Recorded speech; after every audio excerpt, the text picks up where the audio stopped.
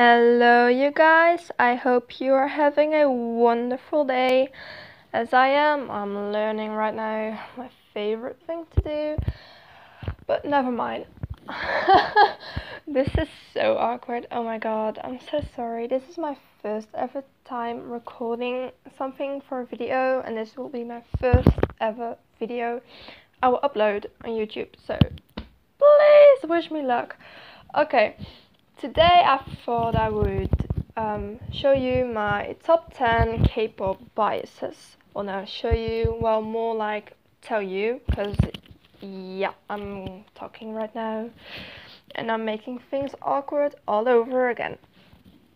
And okay, beware that these will be like 80% uh, girl group biases. not hating on boy groups, but I'm just more of a girl group stan. So if you're really into boy groups, then I don't think this video will be um, helpful for you. I don't know how this can be helpful, but you never know. But without any further ado, let's get into this video before I get weird and stuff. so my number 10 K-pop bias is Jung and um, I'm sure most of you will not know her because she's from, from this very underrated group called Favorite. I'm not sure if you've even heard of them. Well, check them out because they're absolutely amazing. But Junghi is such a precious baby. Like when I saw her, I was like, oh my god, I need to protect her because, oh my god, she's so precious. Like I can't even, she's just adorable. Yeah, that's all I can say. Number nine is Wendy from Red Velvet, and I believe most of you will know her, if not yet all. But oh my god, her vocals. Oh, I can't. Every time I listen to a singing voice, I'm, I, will melt into everything that works. It's like, oh, I, I can't. It's so beautiful, and she is so beautiful. And oh, but you know, her vocals are like so amazing. Number 8 is Jungkook, and I am sure all of you will know him because he's from BTS and he is so adorable and cute and funny and he really caught my eye as a policeman in Dope, so that's why he's got my bias. That's why he is my bias. Number seven is Soojin from (G)I-DLE, and oh my god, she's been my bias since LaTaTA and she's just so sexy and cute and she's just just a goddess. Like i can't even tell you. She is so sexy. Oh my god i can't get over it. And number six is Yeeun from clc stand clc you guys. Um and she is such a rapping cutie. Like one time she's very i don't know she's just like hey bitch here i am and the other time she's so cute and oh my god I can't I, is so adorable. I will probably say adorable at least a hundred times in this video but never mind.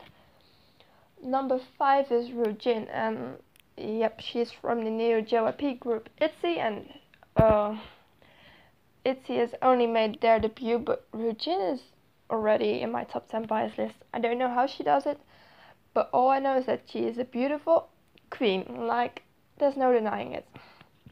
Number four is Chungha, and I was not sure if I would put her in this list because she is now a solo artist, but she used to be in a group IOI, and she's my bias from that group. And I love her so much, so I was like, I'm just going to include her. But she is this gorgeous queen. Like, have you all seen her snapping with that blonde hair? Oh, I can't. I'm out of words right now. She's so beautiful and gorgeous and adorable, and she has this beautiful voice. Like, literally, oh my god. I can't keep talking about it for years, so I better stop now. Number three is Jihyo from Twice and do really need to explain this? Like, she is so beautiful. She has the sexiest body I've ever seen, the biggest b- breast. Uh, okay, I'm making things awkward all over again, but never mind. And she has such a stage presence. Yeah, she is just amazing. There's no need to explain myself. The second one, oh, here's my male ultimate bias. That is Kai or Kim Jong In from EXO. And oh my god, I'm not lying when I say he's my crush. Because he's just so sexy on stage. Like, I can't even tell you. And so cute off stage. Like, oh my god. And his abs, have you seen his abs? Oh my god, literally amazing. But never mind, he's just a god, and the whole K-pop world knows it. Like, oh my god. And then my female ultimate bias, which is also my ultimate, ultimate, ultimate, ultimate, ultimate bias, is Rose from Blackpink. Please don't hate on them. Please don't. But Rose is just my my yeah my everything. I can't explain it to you. I probably have like a couple of hundred pictures downloaded on my telephone of her, cause oh she is so adorable and funny and beautiful and cute and she has such a nice singing voice and she's so sexy as well and so professional and oh my god. Okay here i'm going wild about rose yep i know guys i hope you're doing too. Oh my god. So amazing. Like when I saw her in DDU-DU DDU-DU with her red hair and a statue queen like thing, I immediately fell for her. Like I had no official Blackpink bias before DDU-DU DDU-DU, but when I saw Rose in Doo Doo I was like, I can't breathe, someone please call call an ambulance, cause oh my god. Yep. Okay, I better stop now, cause Oh, okay. This is actually very funny because I know that when I will watch this back later on, like let's say in about a few months or over. Oh god, I can't speak English anymore. I'm sorry, but never mind. When I will watch this over a couple of years or something, I will be like, oh my god, why did I do things that made everything so awkward?